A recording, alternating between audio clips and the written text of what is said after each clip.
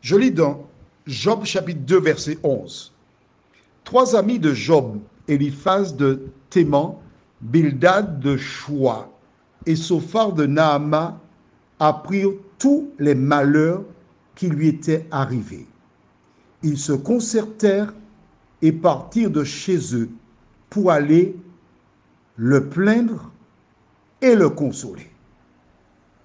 Prions. Seigneur, nous te bénissons pour ta parole.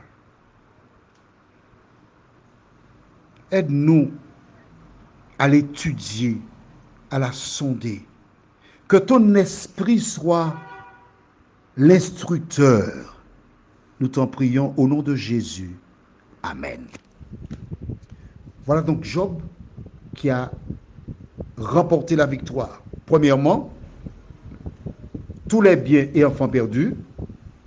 Deuxièmement, la maladie sous la plante des pieds et le sommet du crâne. Troisièmement, son épouse qui l'invite à maudire Dieu.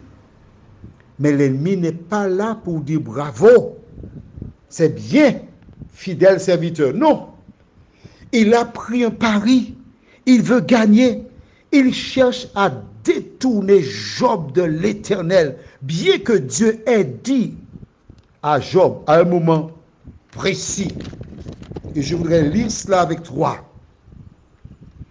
Parce que Dieu dit à Satan, au verset 3, As-tu remarqué mon serviteur Job? Il n'y a personne comme lui sur la terre. C'est un homme intègre et droit, craignant Dieu et se détournant du mal. Il demeure ferme dans son intégrité et tu m'excites à le perdre sans motif. L'objectif visé du diable, c'est nous détacher de l'éternel. Dieu voit la technique, la technique, la tactique. Il sait que ce que le diable cherche, c'est détourner Job de l'éternel. Le même projet qu'il avait pour Job, c'est le même qu'il a pour toi et pour moi nous détourner de l'éternel. Si à un moment donné, tu t'es détourné, reviens à Jésus. Alors il va envoyer ces trois hommes. La Bible déclare qu'ils entendirent et ils se concertèrent. Ah non, on ne peut pas laisser Job dans cet état-là quand même. Mais qu'est-ce qu'ils savent? Ils ne savent rien. D'autres qu'il a perdu tous ses biens, sa santé, et qu'il est en mauvaise posture. C'est tout ce qu'ils savent. Ils ne savent pas ce qui se passe derrière la scène. Et à la lumière de ce qu'on leur a dit, ce qu'ils pensent, car probablement en ce temps-là, on dirait, ah, il devait avoir un pacte avec le diable. Hein? Tu n'as pas vu comment ses affaires marchaient? Il est riche? Ah ouais. Pour qui est ça c'est parce qu'il y avait quelque chose qui clochait. Il n'était pas en règle avec Dieu. C'est pourquoi qu'il a tous ces malheurs. Tu as entendu ça? On a dit cela de toi. Ces bonhommes-là, ils descendent voir Job, parés par le diable.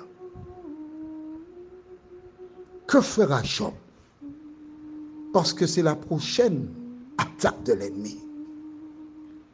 Mais je voudrais te dire, si Dieu a permis, c'est parce qu'il sait que Job est sous son aile. Seigneur,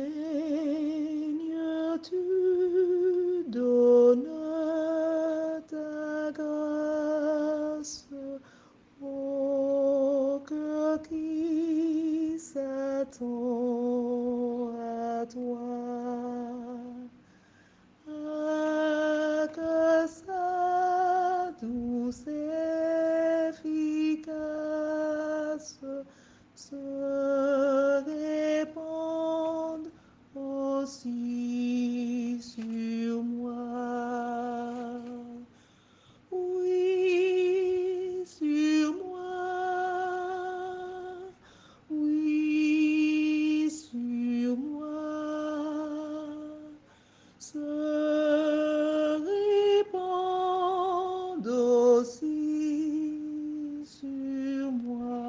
Prions, notre Dieu, notre Père. Seigneur, tu donnes ta grâce. Oui, Seigneur. Tu donnes ta grâce au cœur qui s'attend à toi. Job comptait sur toi. Job vivait pour toi.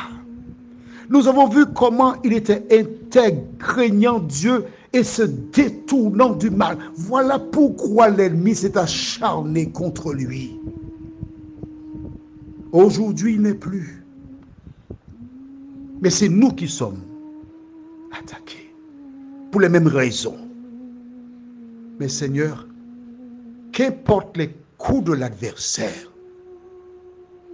nous ne ferons pas comme Asa qui un instant a été tenté de suivre la voie des insensés. Nous te disons, Seigneur, donne-nous une foi inébranlable comme celle de Job, nous t'en prions, au nom de Jésus pour ta gloire éternelle. Amen. Nous te souhaitons une bonne journée sous le regard de Dieu.